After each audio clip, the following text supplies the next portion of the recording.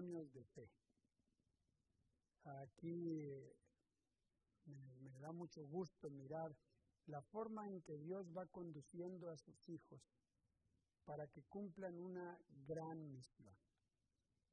Dejarse conducir por Dios es un acto de humillación, en cierto modo, de humildad, de sujeción, para que Dios vaya dirigiendo cada paso. Hoy les quiero presentar a un profesor, diría yo, Dios le dio esa misión. Es el profesor Yair del Valle. Dios lo condujo en una forma maravillosa y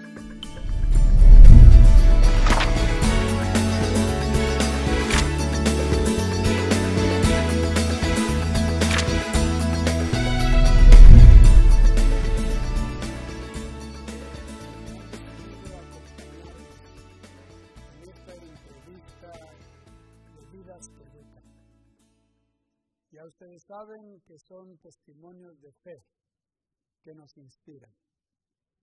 Esta vez el invitado especial es el ingeniero doctor Yair del Valle. Muchas gracias Yair por aceptar la invitación a Vidas que Educan. Gracias a usted por la invitación, profe. Yair, te conozco desde hace muchos años, pero dime de dónde eres. Yo quiero conocer algo más de tu familia. Sí, eh, mi familia es de Monterrey, ahí nací yo en Monterrey. En Monterrey, ¿de, de qué área de Monterrey? eh, del centro de Monterrey, ahí ¿El en mero barrio, centro? en barrio antiguo, eh, ¿En vivían barrio mis antiguo? abuelos y nosotros vivimos ahí en barrio antiguo. Así que digamos que tu niñez la pasaste en el barrio antiguo de, de Monterrey. Todo el barrio antiguo y Macroplaza en los 1980 y algo eran nuestros jardines. Sí, ahora yo conocí, bueno, yo conocí cuando no era Macroplaza todavía. Eh, dime, ahora que han remodelado el barrio antiguo en Monterrey, eh, ¿han- ha, ¿has ido a la casa donde vivían o tienen ahí todavía su casa? No sé. Sí, he ido, ahí vive todavía una hermana, vive ¿Ah, una hermana en casa donde, donde vivían mis padres. Ahora Barrio Antiguo pues está muy transformado, tiene todo, todo otro giro. En aquel entonces era un vecindario muy, muy familiar, mucha gente adulta, todos nos conocíamos, así que muy, muy diferente. Sí, Pero las casas son las mismas, grandes y antiguas. sí, claro, e- e- es, muy bonito el barrio antiguo, es, es una zona muy bonita.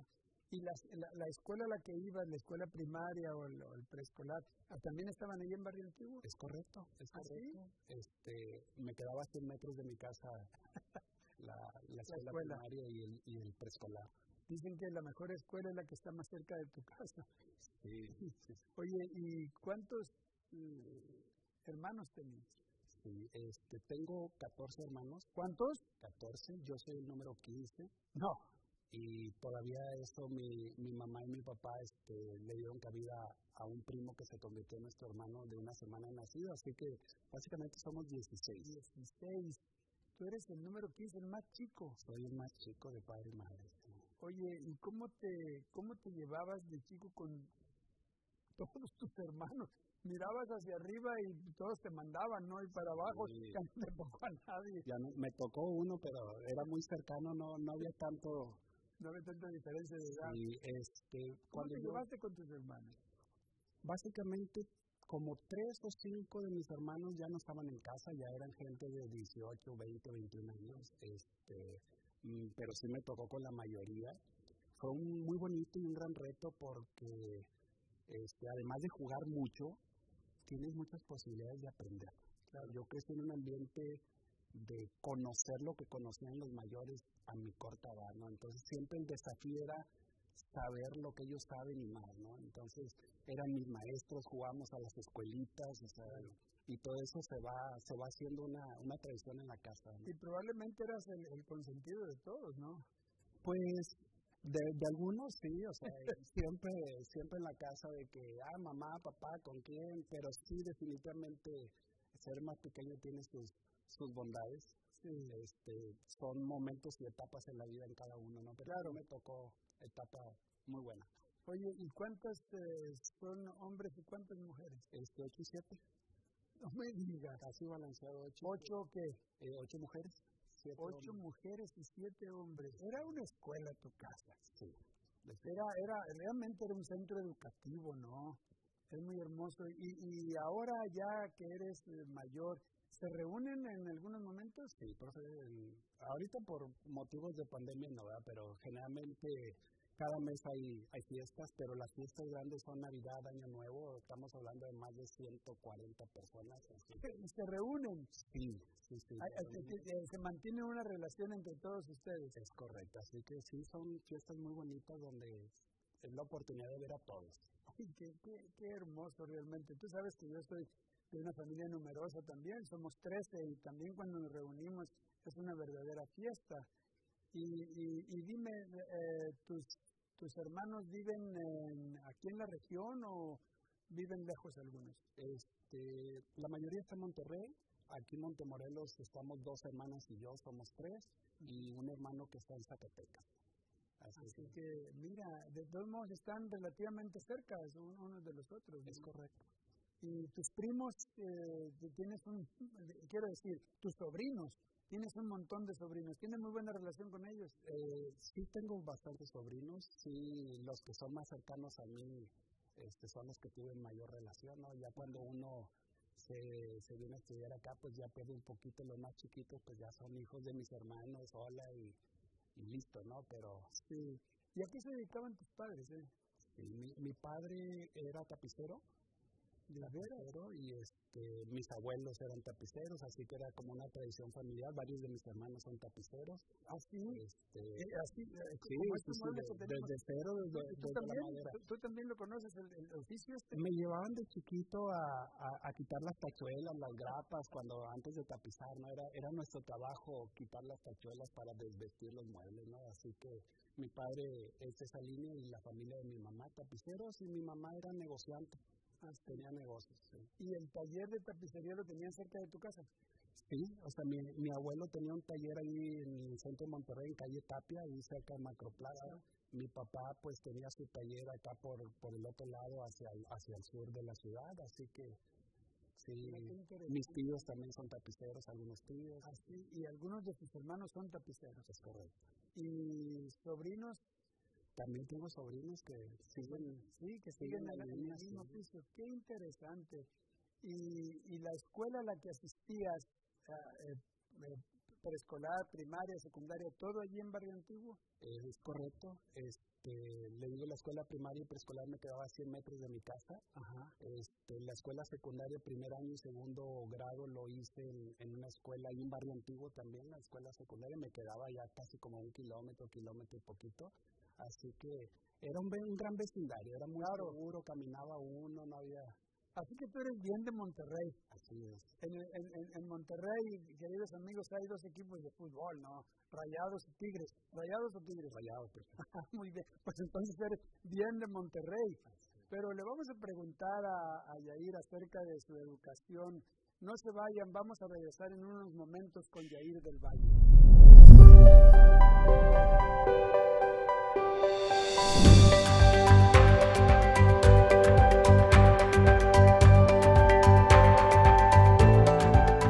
¿Tienes ideas que pueden innovar el mundo corporativo? En la Facultad de Ciencias Empresariales y Jurídicas de la Universidad de Montemorelos queremos que formes parte de nosotros. Si quieres emprender proyectos sustentables e innovadores por medio de la administración y los negocios internacionales, o manejar recursos financieros para facilitar decisiones y procesos administrativos por medio de la contaduría pública, ¿O te gusta solucionar conflictos y defender a otros por medio de la aplicación del derecho? Para los que quieren emprender y luchar por un mundo más justo, Facultad de Ciencias Empresariales y Jurídicas de la Universidad de Montemorelos. Sumar para un mundo nuevo. Más información en um.edu.mx. Muchas gracias por continuar con nosotros en esta conversación con un rayado de Monterrey, con Yair del Valle. Y ahí entonces preescolar, primaria, secundaria y preparatoria, allí en Monterrey. No, hasta segundo y secundaria en Monterrey. Ajá. Tercero y secundaria eh, aquí en Cobopron. viniste a, estudiar la secundaria aquí. ¿Con quién vivías cuando viniste? Con, con mi hermana Elma. Elma. Elma estaba... Sí, tu hermana es, doctora, ¿no? Estudió medicina, es enfermera, pero luego estudió medicina. Es psicóloga, enfermera y, médico. Mira, sí, bueno, ella es una gran profesional, ¿no? Yo recuerdo haberle dado clases a Elma en, en la escuela de medicina y ella siempre muy profesional y como, como maestra en la escuela de medicina, pues eh, ocupó una posición de liderazgo ahí con los estudiantes por muchos años. Así. que vivías con ella. Sí, en 1989 ella estaba en rotaciones, internado, así que estamos aquí con mi cuñado. Oye, y, y Elma, que, se casó con Alfredo Licón, tu hermana Elma, eh, adventistas ellos aquí en, en, en Montemorelos, ¿tu familia son adventistas? Eh, la familia de mi padre era adventista, ¿Así? ¿Ah, bueno, es adventista. Este, la familia de mi, de mi madre es católica, este, pero pues nosotros conocimos del adventismo, mis hermanas mayores, este, muchas de ellas son adventistas y por eso los pequeños nos llevaban a las, a las divisiones infantiles, a la escuela bíblica de vacaciones. Claro. Así que en, tu familia crecieron en una familia con fe, con fe cristiana. Es correcto. De asistir a la iglesia, de, aceptar a Cristo como eh, nuestro Salvador personal. Así es, por eh, entonces, cuando viniste aquí a, a Montemorelos a estudiar la secundaria y la preparatoria, ¿también pensaste luego, luego en continuar aquí la universidad? Yo estudié tercer grado aquí, eh, posteriormente regresé a Monterrey, al Vicente Suárez, o ya seguí... Una escuela adventista que está en la ciudad de Monterrey. Es correcto, entonces eh, toda la preparatoria la hice en la Escuela Adventista de Monterrey. Eh, cuando iba a entrar a la carrera, este, se me pasó las inscripciones a la escuela, a la universidad que hay en Monterrey, a la Universidad Autónoma de Nuevo León. Este, mi hermano Nicolás, que estudiaba aquí teología, este, vámonos para allá, me, animó a venirme para acá a, estudiar ingeniería en sistemas. Entonces decidí, pues como él estaba aquí, sí, vamos, o sea, no me voy a sentir tan, tan solo. Fíjate que, en esos años estábamos comenzando con el área de computación aquí en la universidad. ¿Eres de la primera generación de la licenciatura en, Administración de Sistemas? No soy de la primera generación de sistemas. Yo vine ese primer año porque en 1992 se estaba abriendo la carrera de ingeniería. Ah, muy bien. Yo unos días asistí a ingeniería, pero terminé estudiando licenciatura en Administración de Sistemas. Soy de la tercera generación. Muy bien y, y este, tú aceptaste a Jesús como tu Salvador personal mientras eras pequeña allí en Monterrey? No, profe.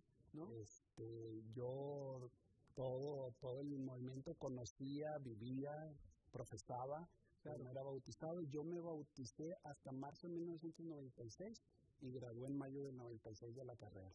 Ah, entonces aquí, siendo estudiante universitario, aceptaste a Cristo como tu Salvador personal. En los últimos meses de carrera. Ahora, eh, la, edad universitaria es una etapa difícil de toma de decisiones, muchas decisiones, y también hay que mantener una identidad. Eh, ¿cómo, te sentiste? por, qué, ¿Por qué decidiste bautizarte, aceptar a Cristo en un acto público de fe? Sí, este era, es muy importante, al llegar aquí a la institución, yo venía buscando ese refugio espiritual. Monterrey es una ciudad donde hay de todo. Este, me movía en barrio antiguo, se mueve de todo, o sea, no, no estaba libre de, de maldades, sabía cómo, cómo era el asunto, pero yo al venir aquí a la institución buscaba buscaba ese refugio. Al venir aquí ciertamente lo vas a encontrar si tú lo quieres y lo deseas. Claro. Porque también, también puede haber, otras influencias. influencias. Así que lo más importante al venir aquí es mis amigos. Actualmente pues trabaja aquí el profesor Enoch Nájera. Es una, para mí es un refugio, un, buen amigo cristiano que siempre procuraba por mi bien. Entonces, desde esa perspectiva, cuando yo ya iba a terminar fue la carrera, fue como, ¿y ahora qué va a ser de mi vida al regresar a Monterrey, la influencia que hay? Entonces decidí bautizarme, decidí bautizarme, seguir a Cristo y inmediatamente después del bautismo salió una convocatoria para, para ser misionero y la verdad la llené pensando en que, en que no iba a ocurrir nada, o alguien recién bautizado, ¿cómo, claro. iba a poder hacer el asunto? Pero bueno, Dios tiene, tiene los caminos y por fe, por fe acepté caminar. Ahora, qué bien, qué interesante, Jair. Fíjate lo que significa la conducción de Dios, ¿no? Eh, por eso son vidas que educan. Eh, viniste buscando un refugio espiritual, sabías cómo, sabía la necesidad de un refugio espiritual, ¿no? Y en un momento dado te comprometiste con la fe, te comprometiste con Dios, te comprometiste con Cristo. Eh, uno toma muchas decisiones en la vida, pero hay tres que son fundamentales, ¿no? que conforman la columna vertebral de, de, la vida de uno. Y primero es la decisión por Cristo, bueno, la tomaste. La decisión de tu vocación, pues ya la tomaste, estabas estudiando la licenciatura en sistemas computacionales y ya orientado al cumplimiento de tu misión en un servicio misionero. Y la tercera decisión importante tiene que ver con nuestro matrimonio. Correcto. ¿Y cómo, cómo llegaste a esa decisión? Bueno, pues este, Dios tiene el camino preparado para cada uno de nosotros. A, a, mi esposa la conocí el día de la graduación. Eh, aunque estudiamos aquí, nunca, nunca la había visto. No me digas. No, es, es decir, sí puede decir claramente. No, eh, eh, no, no, literal. Nunca la habías visto. No, no la había visto. Ella estudiaba música. Ella estudiaba música, mis rumbos eran otros, o sea. Sí, claro. Y, yo los fines de semana me iba a Monterrey, claro. estaba aquí en la iglesia. Entonces, este, la vi por primera vez el día de la graduación, porque ella también iba de misionera al lugar donde yo iba nos saludaron y nos presentaron ese día en la plataforma en graduación. Hola, ¿cómo estás? Sí, bueno, pues nos vemos en algún momento en el campo. Y dicho y hecho, en el campo nos vimos, nos hicimos amigos por todo este año y ya posteriormente empezamos un noviazgo. Qué, increíble. Conozco muy bien a Olivia, ¿no? Y bueno, Olivia cantaba y cantaba los fines de semana, pero tú no estabas. Así que el día de la graduación, cuando los presentamos, aquí están dos jóvenes que se van en un servicio voluntario misionero a Costa Rica pues ahí la conoces, ah, pues voy a ir con ella, ella, pues voy a ir con él, pues allá nos vemos en San José. Sí. Y entonces estuvieron en Costa Rica todo un año. Es correcto. Es una, eh, en Costa Rica hay una, queridos amigos, hay una institución educativa, una universidad, la Universidad Adventista de Centroamérica. Allí donde Olivia y Yair eh, hicieron su servicio voluntario, servicio misionero. Vamos a escuchar más de esto cuando regresemos.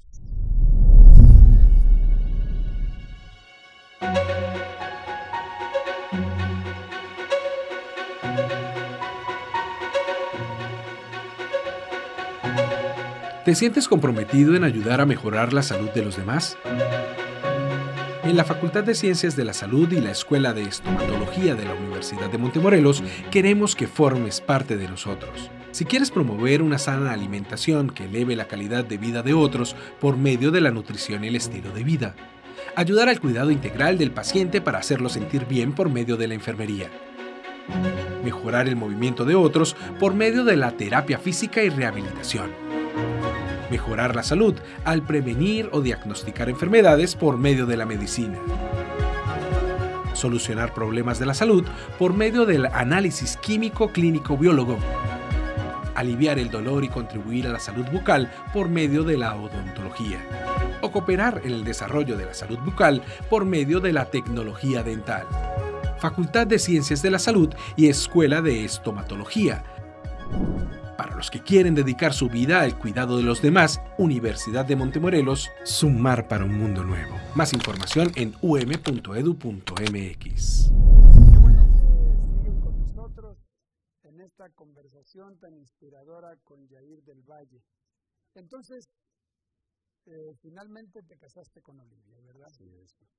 Y ella es profesora de música y tú profesor eh, en el área de de computación. Pero cuando tú terminaste la licenciatura en ciencias computacionales, ¿te imaginaste ser profesor o estudiaste para estar trabajando en las computadoras? No, porque nunca me imaginé ser profesor.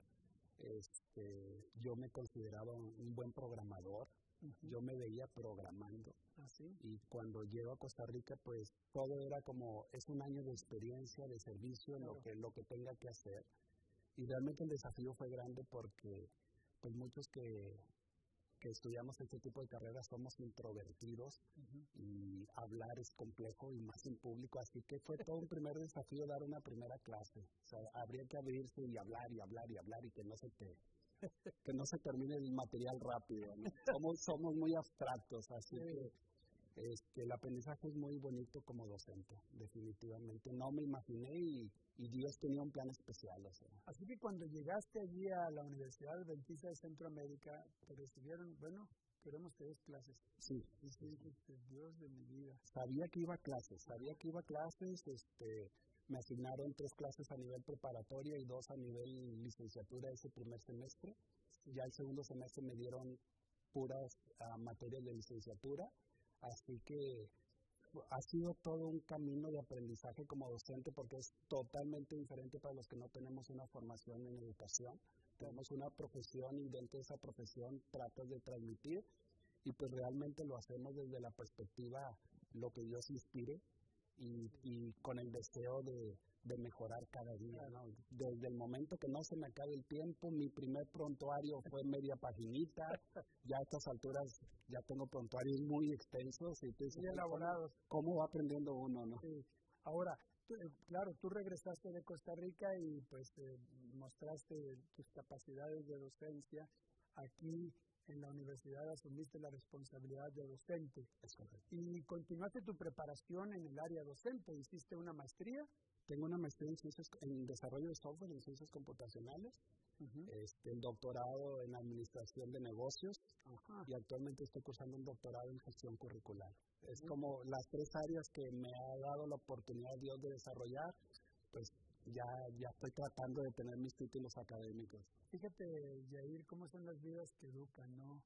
Se dejan conducir por Dios y se preparan para las tareas que Dios va poniendo en el camino. Eso ha pasado en tu vida. Cuéntame de tu experiencia eh, enseñando en la Facultad de Ingeniería y Tecnología. ¿Cómo te sentiste con tantos jóvenes formando nuevas generaciones? Y definitivamente la educación lo dije hace rato, es un aspecto muy lindo porque el primero en aprender es uno mismo. Esa disciplina es muy diferente. Cuando uno es estudiante dice, qué padre, qué fácil la tiene el docente. Nada más deja tareas, deja, deja, deja y deja. Pero realmente al estar del lado de la docencia se requieren muchas horas de preparación, de evaluación y, y temas que los pasaste a lo mejor de noche en la carrera, ahora tienes que estar bien detallado, entonces es un constante, es una escuela permanente ser docente. Y entonces sí es muy bonito, eh, los caminos del Señor son únicos porque construyen, construyen por fe, muchas veces las capacidades quedan a un lado, aquí definitivamente el propósito del llamado, el propósito de que Dios capacita en el momento, es una verdad que se vive minuto a minuto en la docencia. quiere decir que tú aceptaste la profesión docente con un sentido de misión. Es correcto. No nomás se trata de impartir un conocimiento, sino de impactar la vida de los jóvenes. Así es. De los jóvenes. Como, como mi vida ha sido impactada. Tuve maestros que, que tuvieron ese impacto. No solamente eran, él sabe y me transmite y me deja tareas, sino qué bonita relación se da con, con muchos de los docentes. ¿Y cuántos años enseñaste a, los jóvenes de licenciatura en la Facultad de Ingeniería y Tecnología? Eh, aproximadamente 17, 18 años. 17. Ah, y ahora enfrentas el proceso educativo desde otro nivel, desde el nivel de posgrado, porque actualmente estás en la división de posgrado. Así es. Y tienes la responsabilidad del desarrollo curricular y del área académica. ¿Y qué desafíos miras en la educación, tanto a nivel de, universitario y de, licenciatura y de posgrado? ¿Qué desafíos miras? El, desafío más grande a nivel posgrado tiene que ver con el asunto de la investigación. Oh. La investigación es algo muy fundamental en, el, asunto del posgrado y el hecho de coexistir el currículo con ese, ese proceso de investigación muchas veces son procesos separados.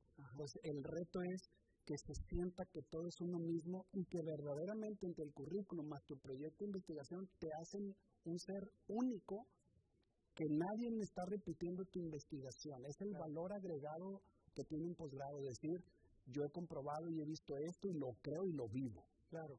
Y ahora, desde la perspectiva de, del cristiano, del profesional cristiano, ¿cómo miras ese proceso de investigación? Sí, definitivamente es muy fácil separar el proceso de investigación de la parte cristiana, ¿no? Pero definitivamente tu investigación lleva tu filosofía, porque la voz que tienen tus escritos está lo que eres tú.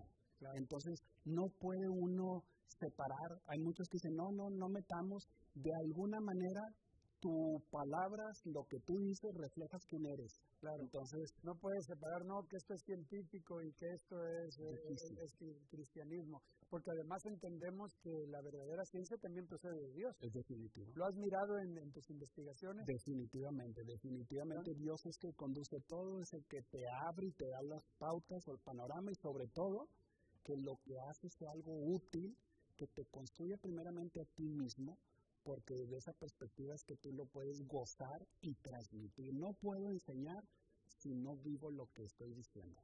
Así que en la investigación eh, hay lugar para la fe. Se construye sobre una base de fe.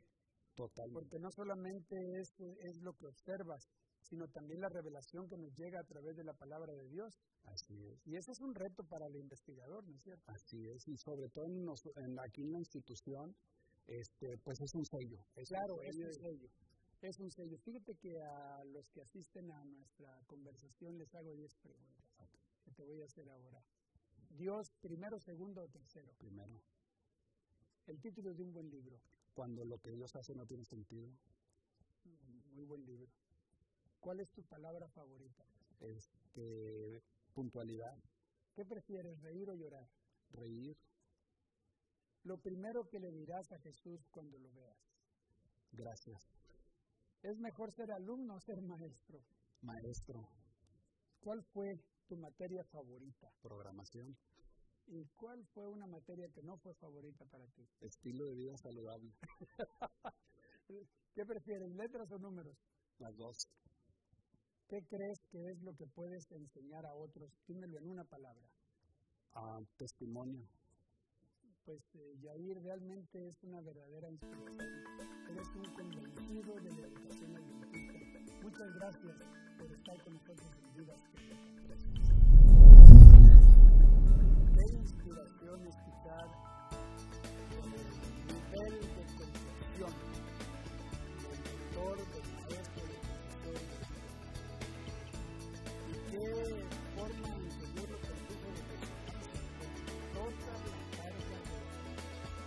la educación sobre todo, así venía como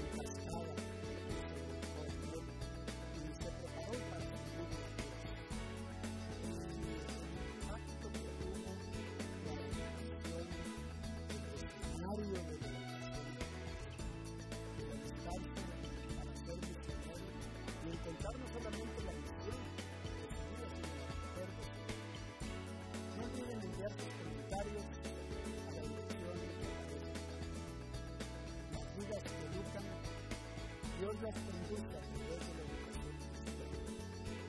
educación por